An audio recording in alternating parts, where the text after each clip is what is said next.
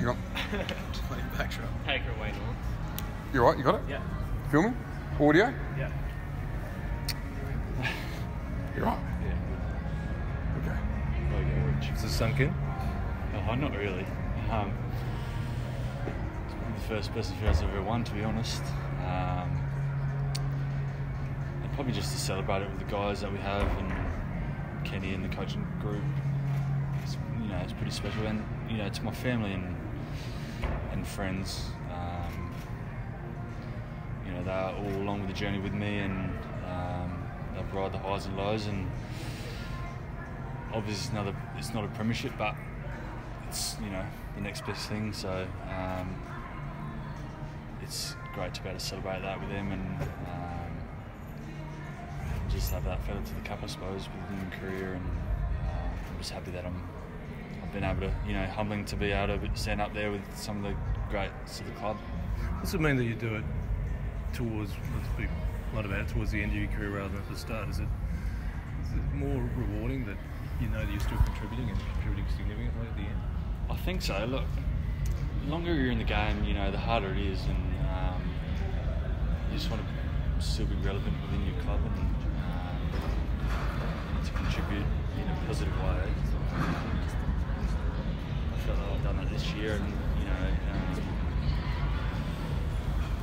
hopefully going forward, I can do the same thing and um, win the ultimate thing for the club. That's the ultimate goal with anything you do in your career. Um, you know, I'd trade this in a second for a premiership with the guys that we got playing, and um, but yeah, it's it's a nice feeling to be standing here and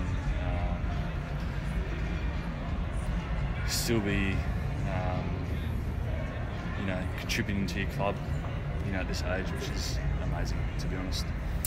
The notion you have that playing many positions keep you fresh of mind, but can you keep doing that with your body, or I is there a so. point where you've Uh, just got to find your spot again? Yeah, look, it's probably a fine balance between the both. Um, you know, I'm feeling pretty good, and mum and dad have probably blessed me with pretty good genes over the journey. So, um, you know, I'm still happy to out, be out there and, and mentally feel pretty fresh. So, um, you know, I think going forward, we're the group that we have is in a pretty good space and. Um, I think we're going to be onto bigger and better things with hopefully a few fresh faces around the club and um, the guys that we got, you know, going to the second year and it's a pretty positive place to be, I think. The best and fairest at 32. Like, how much longer do you think you you know you can and you want to play football for, for this footy club? Uh, who knows? I'm not, you know, I think it'd be silly to put a number on anything. So um, I'm going for Kane's record holder, game record holder. So I did beat Treaders, you know, this year. So um, I'm just still happy to be around and um, be involved with such a good group. You know, I love the guys that we have at the club at the moment, and um, we have such a close group, and um, I just want to celebrate this with them. You know, it's probably as much them winning this as you know as me winning it. So um, I just want to have a few beers with them and, and celebrate the moment as it is, and, and with my family. So um, I suppose everything else can come, you know, after that. Obviously, such a disappointing way from the team perspective to end the season. Does that provide some motivation going into next year and going into the pre-season? I've got 12 years of motivation going into next year, so um,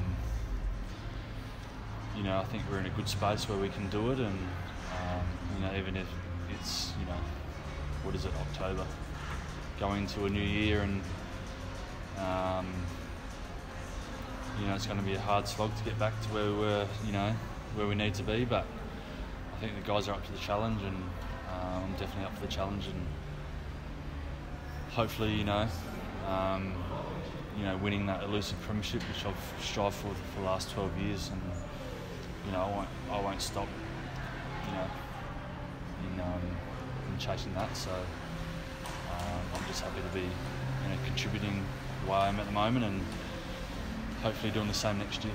Just note that when you speak in a group, they listen. So over that journey of 12 years, and it's been a rocky one, Yeah. what what does Port Adelaide need to be a premiership side? To be honest, Rich, I think we've got the bones there now that we can challenge for a premiership. It's just obviously the consistency of the group and um,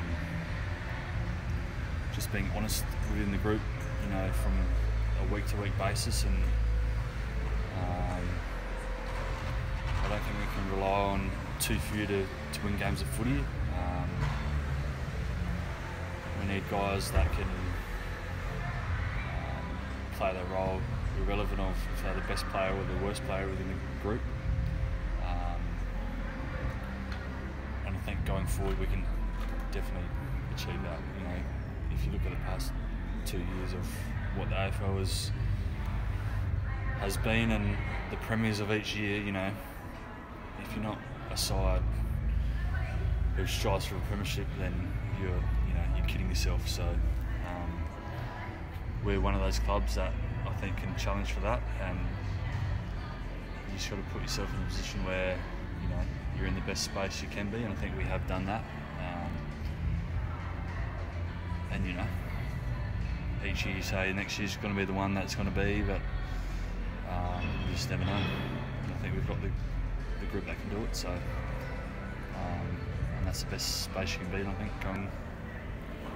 Look, I'm obviously going into the twilight of my career, and um, and there's other bows to the string that the club need to come in to deal with. But I always said that you know my footy will speak for itself, and um, you know the extension, whatever it was, would um, fall from the way I play. And obviously, being a 30, 31 year old, there's not too many bargaining chips you have, you know, in the AFL spectrum. So. Um, you know, I've just put my best foot forward, and um, I'm so happy to be within the club and, and to call myself hopefully one club player going forward. So um, I'm about to be here next year. Um, obviously, guys in my position, you know, haven't had the um, you know priority to be where I'm standing at the moment. So um, I'm just still to be in the system and um, being able to contribute to a club which I'm pretty passionate to be involved with. So um, I wouldn't, I wouldn't rather be anywhere else, to be honest.